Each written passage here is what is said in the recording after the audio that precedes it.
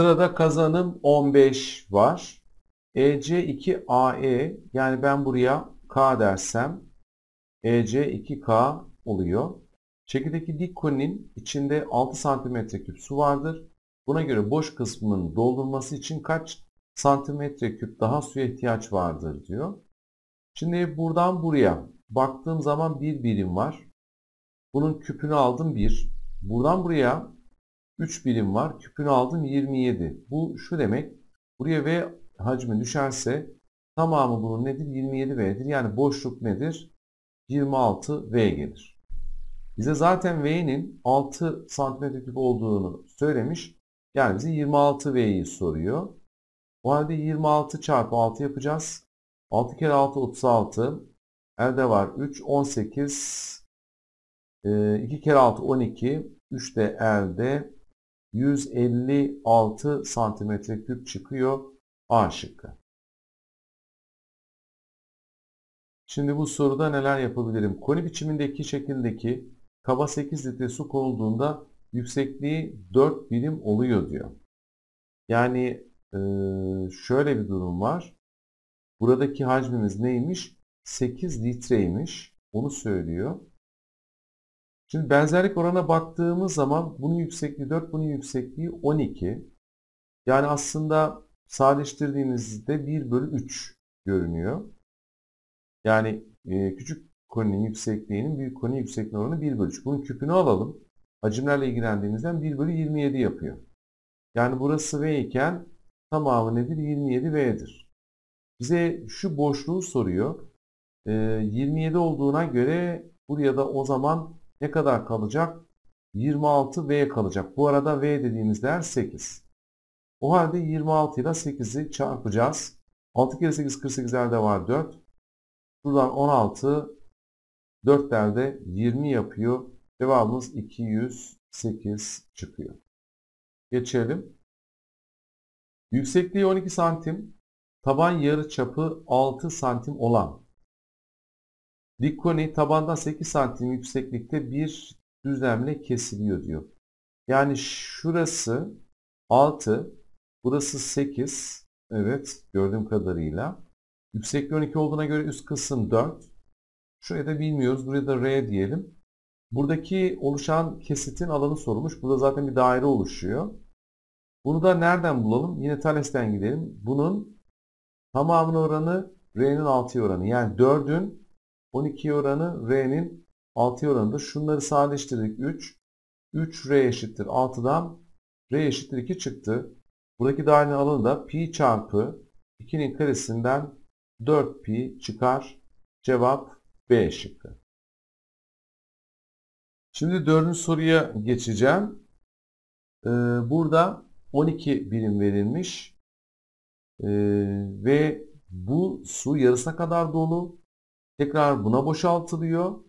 Burada suyun yeni yüksekliği nedir diye soruyor. Yani şurasını soruyor soru bize. Şimdi şurada şöyle yapalım. 1 ee, ve 1 ya. Hani benzerlik oranı 1. Bununki de 2.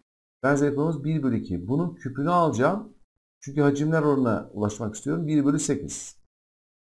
Bu durumda buraya V dersek hacim olarak Tamam 8V olduğuna göre şu aşağıda 7V kalacak. Tamam Şimdi bu su buraya aktarıldığı için burası da yine 7V. Tabii yüksekliğimiz boydan boya nedir? 12'dir. Şimdi burada şöyle çalışmam lazım. Bunun benzerlik oranı da H'ye 12. H bölü 12'nin küpünü almamız lazım. Hacimler oranına ilgileniyoruz çünkü.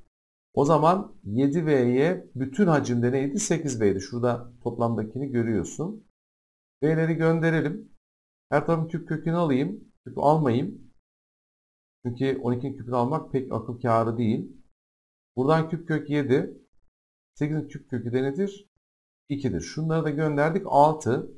Bir de çapraz çarpımı yaparsam yüksekliğimiz 6 çarpı küp kök 7 çıkıyor C şıkkı. Peki şunu birazcık büyütebilir miyim? Umarım sığar. Evet.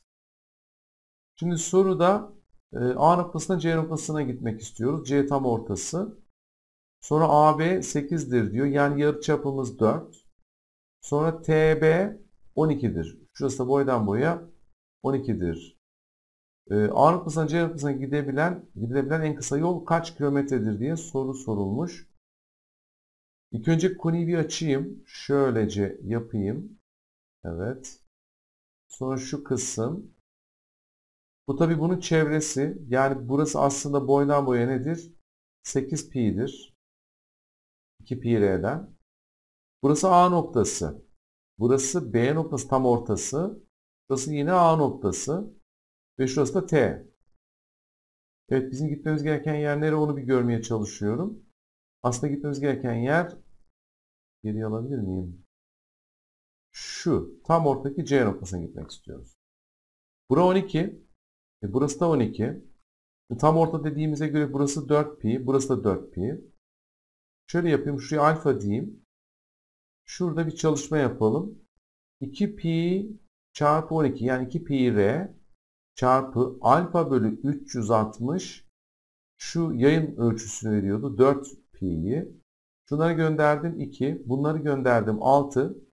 6 alfa 360'dan bu açı 60 dereceymiş. Şu tepe açısı var ya şurası 60 dereceymiş. Daha doğrusu bu e, iki boyutlu açıldığında şuradaki merkez açı 60 dereceymiş.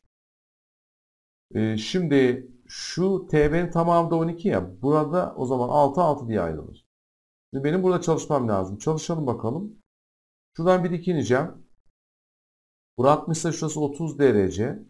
Dolayısıyla şuraya ne kaldı? 3 kaldı şuraya. Buraya da 3 kök 3 kalıyor. Şu siyah çizdiğim dikmeye. Buraya 3 olduğuna göre buraya da 9 kaldı. Evet. Bizim istediğimiz yer neresi? Şurası. Buraya da x diyelim. Ee, bir Pisagor yapıp bitirelim soruyu. x kare 9'un karesi 81. 3 kök 3'ün karesi 27. Burası 108 çıkıyor. Demek ki x karekök 108, 108 36 çarpı 3. Yani cevabımız 6 kök 3 geliyor. Nerede? D şıkkında.